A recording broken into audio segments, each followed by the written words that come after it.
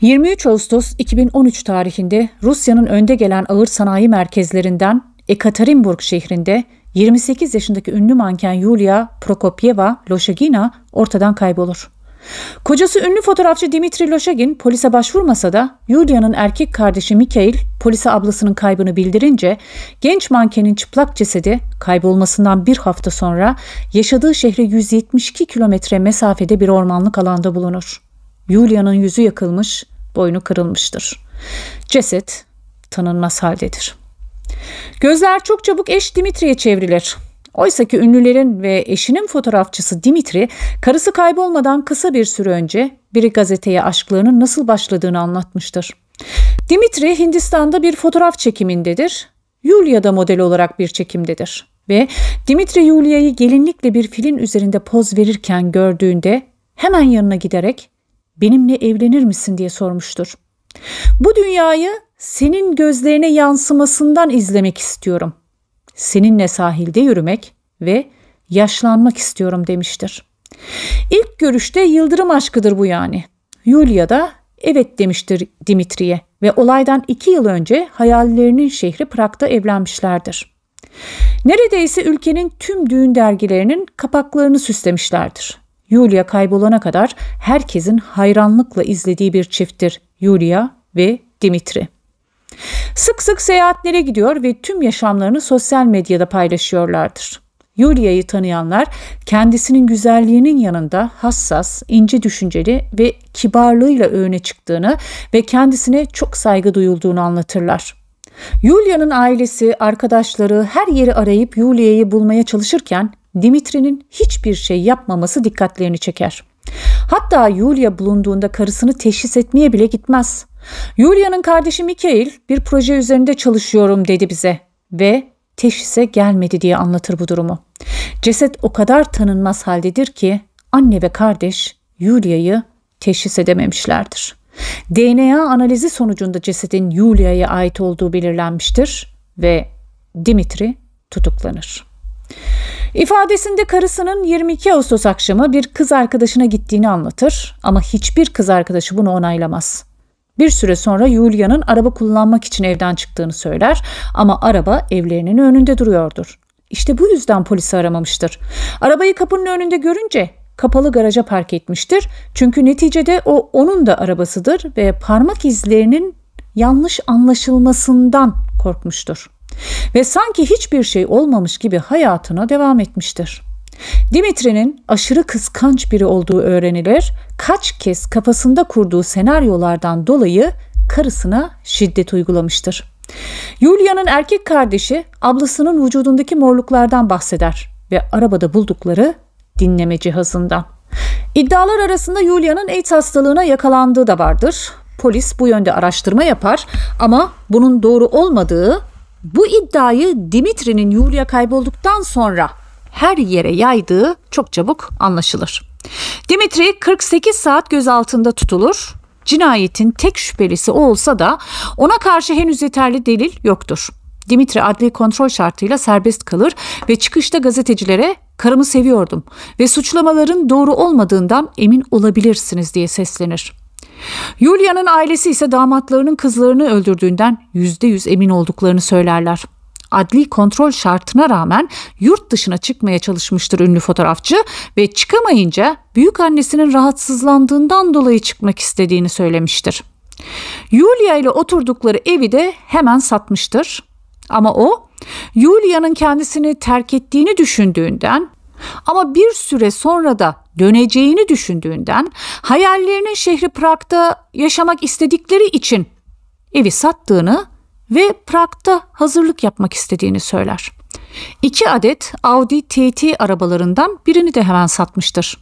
Dimitri yeniden tutuklanır ve 15 aylık soruşturma süresince cezaevinde kalır. Söylediği tek şey karımı seviyorum olur.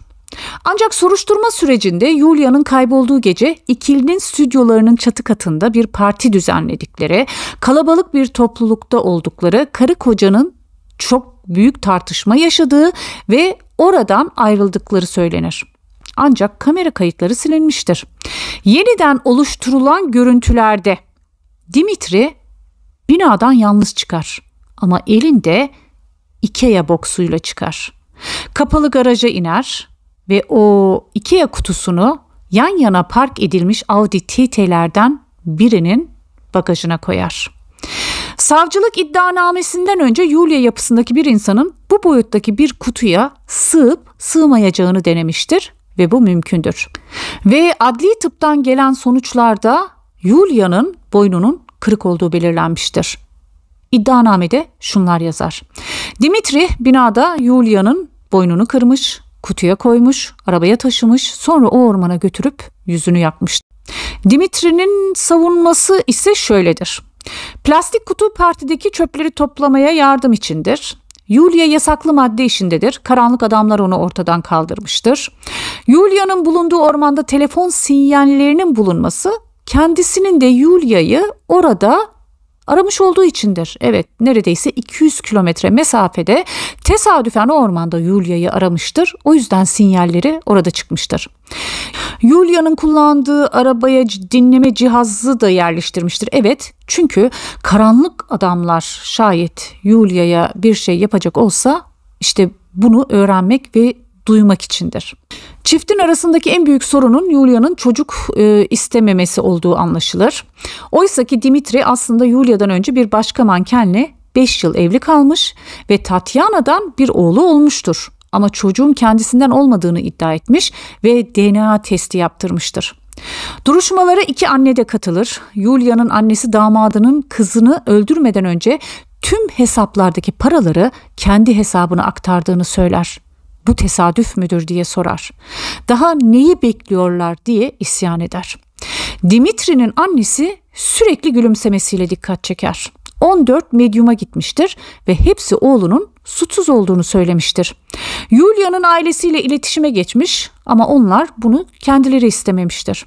Oğluna birçok kitap alıp getiriyordur cezaevine ve ayrıca duruşmada iddia edilen kutu taşıma işi tam bir saçmalıktır.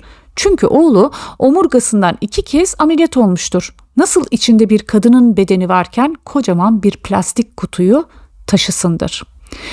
25 Aralık 2014'teki duruşmasında 39 yaşındaki Dimitri artık normal yaşama geri dönmek istediğini, karısının ölümüyle hiçbir ilgisi olmadığını söyler. Bunca çelişkili ifadeler, telefon sinyalleri, evi satması, yurt dışına çıkmak istemesi, karısını teşhis etmeye gitmemesine rağmen beni terk etti sanmıştım. O yüzden polise gitmedim saçmalığına rağmen Dimitri suçsuz bulunarak serbest bırakılır.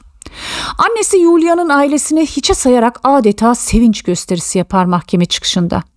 Yulia'nın ailesi ve avukat bu karara karşı çıkar ve temize giderler. Yulia'nın annesi en önemli delillerin dosyadan yok edildiğini iddia eder.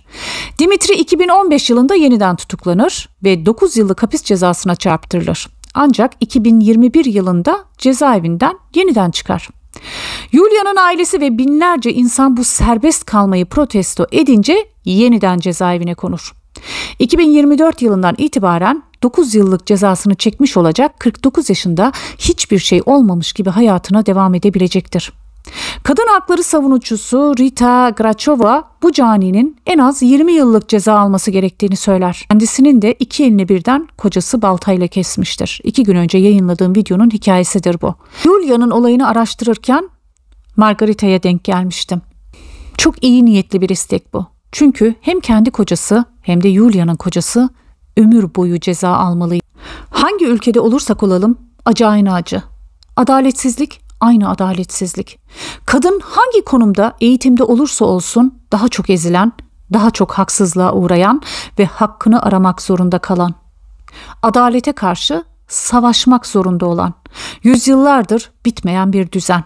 Bu haksız düzenin alt üst olması kadın, çocuk, haycan, erkek herkesin eşit şartlarda yaşaması dileğiyle. Hoşçakalın.